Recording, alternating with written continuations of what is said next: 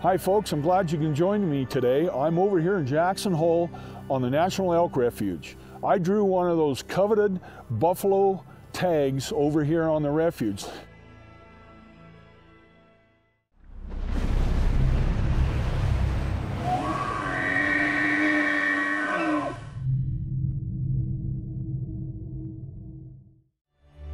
Now this elk refuge is probably the crown jewel of the refuge system in the United States.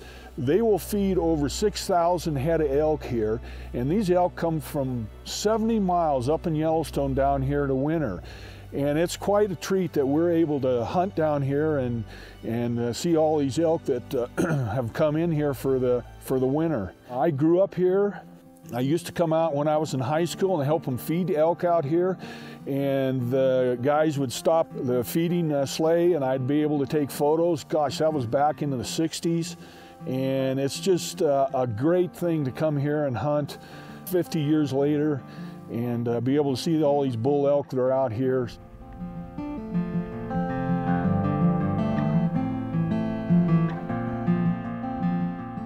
You know, these buffalo were kind of introduced back in uh, the 60s. Back then, they had uh, a compound out here by the uh, fish hatchery where they put uh, some elk in so the tourists could look at them in, this, in the summertime. And one time they got two great big old bulls in there. And when the rut come in uh, September, those two bulls fought until one killed the other. So they thought, well, maybe we can't do that. So then what they did is they went over to the state park in Thermopolis and got uh, 15 or so buffalo and put them in that compound, and the tourists would come into Jackson Hole and drive up there, and then they could look at these uh, buffalo.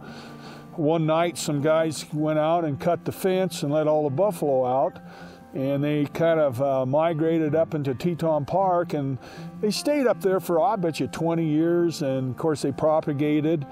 And then one time, uh, a few of them came down here on the elk refuge in the wintertime, saw that there was free groceries, and so they told every, every other buffalo. And so then they have these free running uh, buffalo hunts down here to kind of manage them.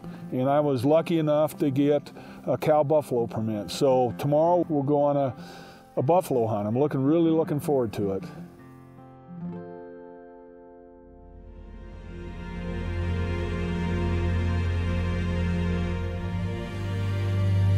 Well, folks, we've been looking out here and we found a really good group of buffalo out here. They've got quite a few cows in it and there's a couple really good ones. So we're going to load the horses up, get on them, and they're about, oh, a mile and a half out here towards a canyon and we're going to get as close as we can with the horses and then we're going to get off and we're going to walk and stalk. So uh, Tim let's uh, let's get the other horse and uh, get my gun and here we go folks. We're going on a spot and stalk for a buffalo. It's fair chase out here in Jackson Hole Wyoming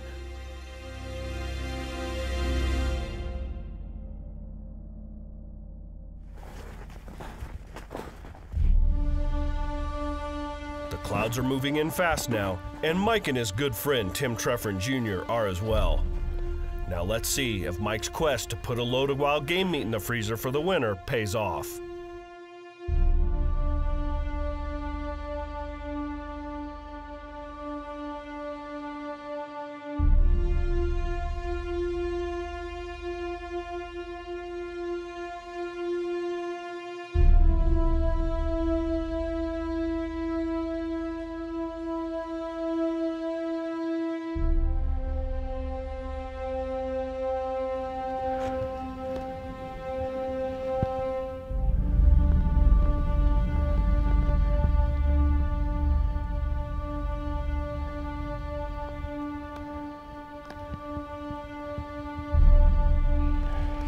Get up to this hump right here and that'll give us a good shot at a cow.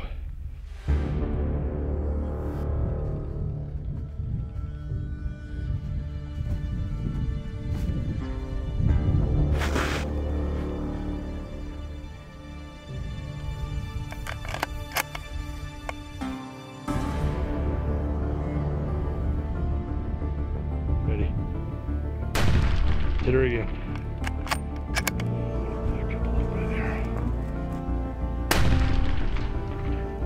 That did it. I want to tell you that these buffalo, even a cow like this, are tough. I'm surprised how much they can take. It was great. Tim Teffren here kind of guided me and never been on one of these. It's always been a, a dream of mine to take a fair chase buffalo. We'll go over there and take a look at her and and now the real work begins on her. So let's see what we have here.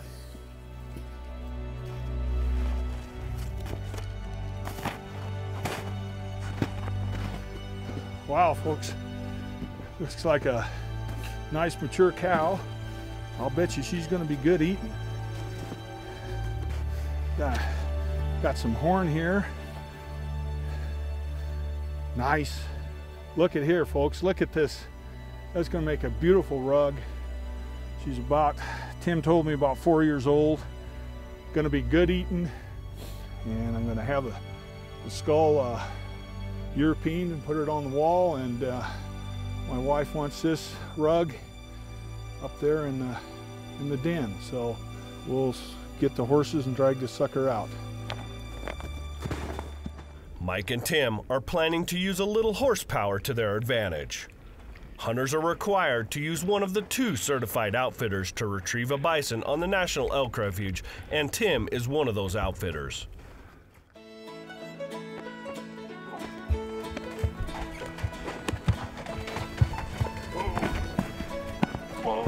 Well, fellas, it looks like you might need a little bigger horse or a lighter buffalo. Woohoo, that was close.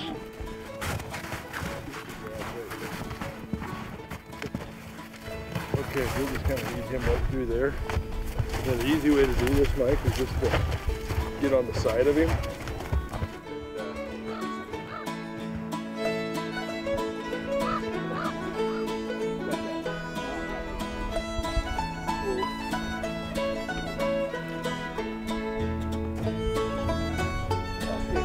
Mike, go ahead and walk him forward just a little bit. Okay. Okay. This hunt just goes to show us all that the hunt is not always about the trophy on the wall. At the end of the day, loading a freezer full of good, healthy wild game meat is about as important a task as there is, and the Eastman family is no exception.